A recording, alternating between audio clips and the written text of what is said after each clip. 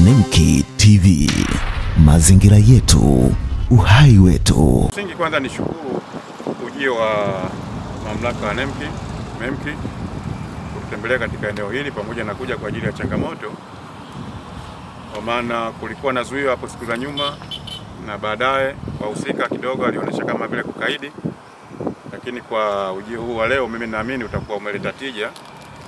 Ah, namna gani? Tafsiri yake kwamba baada ya kuja NEMKI na kutoa elimu na kutushirikisha sisi kama mamlaka za serikali za mitaa, basi kwa vile wametoa maelekezo ya siku kumi na nne ndani ya siku kumi na nne wahusika waende kule katika ofisi za NEMKI kupewa maelekezo au kuelimishwa, basi ule mrejesho atakaopewa kule na sisi kama serikali za mitaa ndio tunatambua.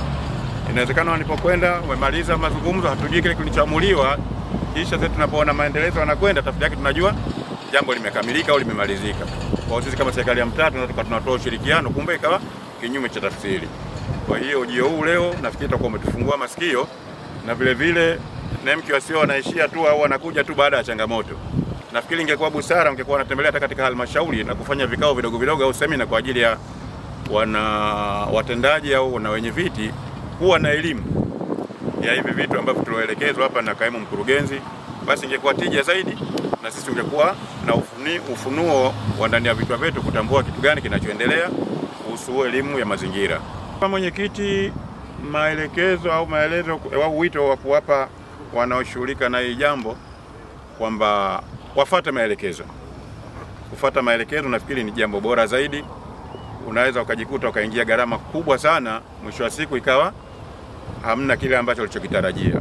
Kwa mfano, kaimu mkurugenzi hapa amezungumza tayari wameshatoza milioni mia moja milioni mia moja katika uendelezaji. Kwa mfano, ungekuwa umefuata taratibu, ilikuwa wanapiga hatua kubwa sana. Tafsiri yake hiyo umejirudisha nyuma, kujichelewesha. Kwa hiyo ni kufuata taratibu kadri maelekezo atapokwenda. Naamini hawatozuiwa kabisa iwapo watakapofuata maelekezo, aidha watarudishwa juu kwa kwa mita zinazohitajika au kutakuwa na maelekezo zaidi atakapopewa elimu, basi naamini jambo linaweza likaenda kwa litakuwa linaenda kisheria. Nemki TV, mazingira yetu, uhai wetu.